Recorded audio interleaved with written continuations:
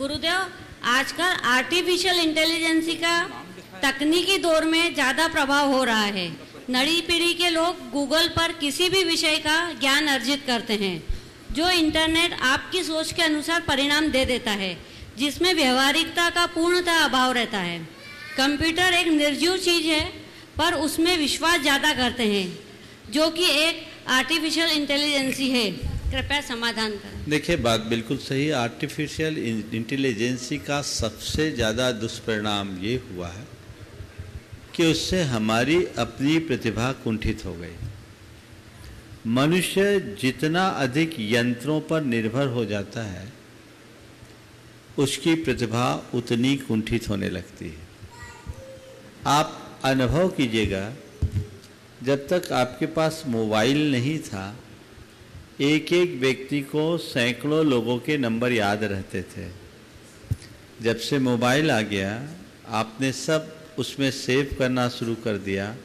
अब खुद का नंबर भी लोगों को याद नहीं रहता। क्यों?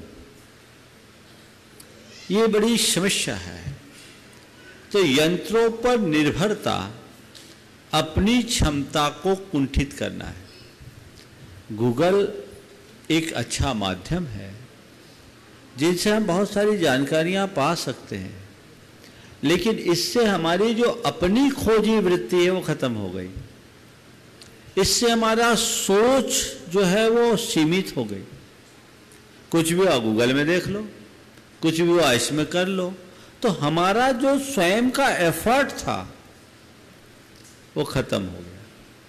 और दिनों दिन खत्म होगा। तो इसके परिणाम तो ये आने ही वाले हैं।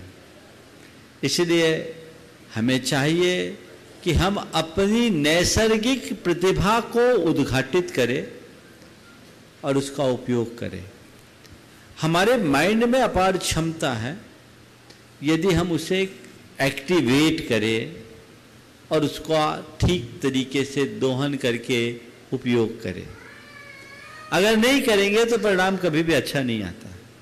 इसलिए हमें इस आर्टिफिशियल दौर से अपने आप को बचाना चाहिए।